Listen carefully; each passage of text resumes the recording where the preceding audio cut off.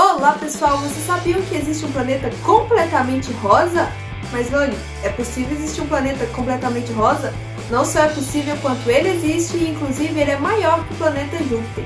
Ele é conhecido como GJ504b. Nesse vídeo eu vou falar um pouco sobre as características principais e sobre algumas curiosidades sobre esse mundo completamente rosa.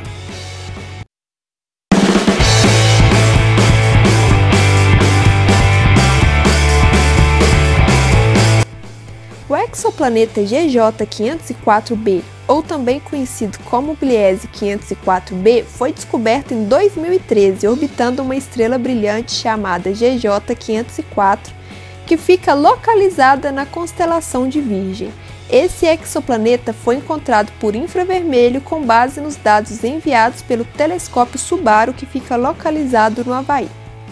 GJ 504b é um planeta gasoso e maior que o planeta Júpiter, como pode ser visto nessa imagem de comparação entre os planetas do Sistema Solar e o planeta rosa.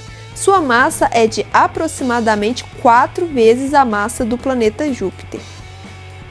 Nessa outra imagem, podemos ver uma concepção artística do exoplaneta GJ 504b se nós humanos pudéssemos viajar para esse planeta gigante, veríamos um mundo ainda brilhando com o calor de sua formação, e a cor dele seria algo como uma flor de cerejeira escura ou um rosa magento opaco. Esse é o planeta de menor massa que já foi detectado em torno de uma estrela como o Sol, utilizando técnicas de imagem direta até a data que ele foi encontrado. Aqui podemos ver o exoplaneta e a estrela que ele orbita, a GJ 504. Essa linha em amarelo, que vocês estão vendo em torno da estrela, mostra uma comparação de onde seria a órbita de Netuno, comparando assim para vocês terem uma base com o sistema solar. Essa imagem que vocês estão vendo é uma foto tirada pelo telescópio Subaru do planeta Rosa.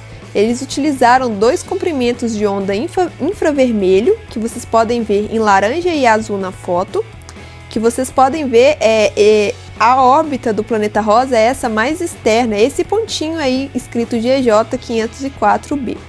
A distância aparente entre a estrela-mãe e o exoplaneta é de aproximadamente 44 unidades astronômicas, que é maior que a órbita de Netuno aqui no sistema solar.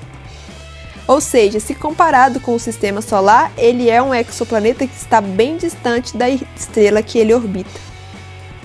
Bom, quanto à temperatura desse exoplaneta, ela é de cerca de 237 graus Celsius e a estrela que ele orbita está a aproximadamente 57 anos-luz de distância do nosso planeta Terra. E os pesquisadores estimam que esse sistema tenha cerca de 160 milhões de anos, com base em métodos que ligam a cor da estrela e o período de rotação à sua idade, sendo o sistema estelar relativamente jovem quando comparado com o sistema Terra, que tem 4,5 bilhões de anos.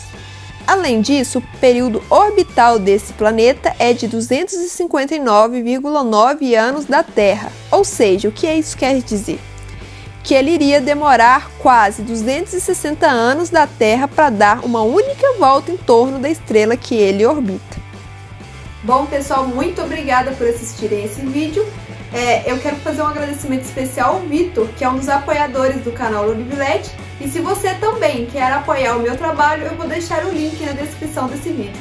Muito obrigada e até o próximo vídeo.